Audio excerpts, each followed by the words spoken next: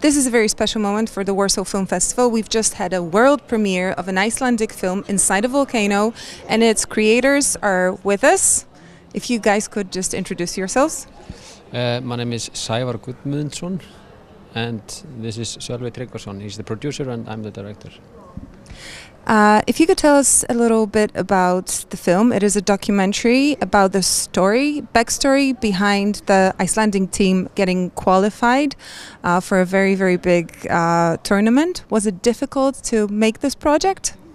Uh, it was easy to say yes to it because uh, I'm a huge fan of football uh, altogether, and um, uh, the hard part was there was absolutely no money for money in it. Uh-huh. So for like one and a half year, we worked on it uh, pro bono, and just hope they would qualify. So we would someday make a make a film with a with a good ending and and uh, yeah get paid. Mm -hmm. Is money the only trick a producer has to work with making this film, or were there other obstacles that were particularly difficult for you?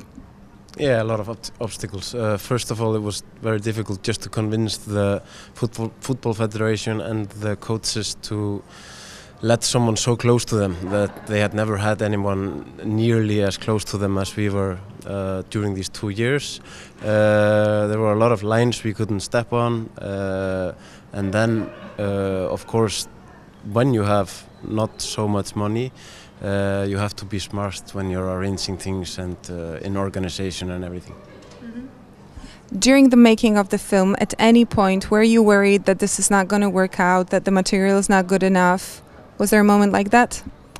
Uh, mm, no, uh, well, maybe yes, we, but we didn't like think a lot of it. Uh, if they weren't going to qualify, we were going to make a um, half an hour TV um, show would sell for small amounts of money and and uh, but at least we had fun doing the the film and but luckily uh, we have a great team and uh, mm, yeah they qualified and everything went great mm -hmm.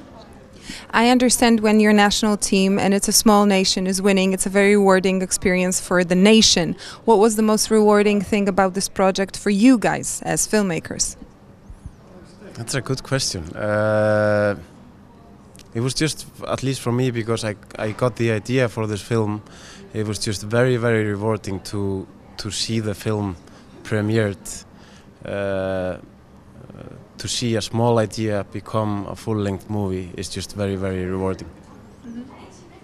Well, obviously, a great success in a tournament is always uh, a sense of satisfaction and a source of satisfaction for the players, for the fans. But I think in the case of Iceland, this has been more than just a sports thing. How would you describe this experience as a transformation one for the nation, or how do you see it?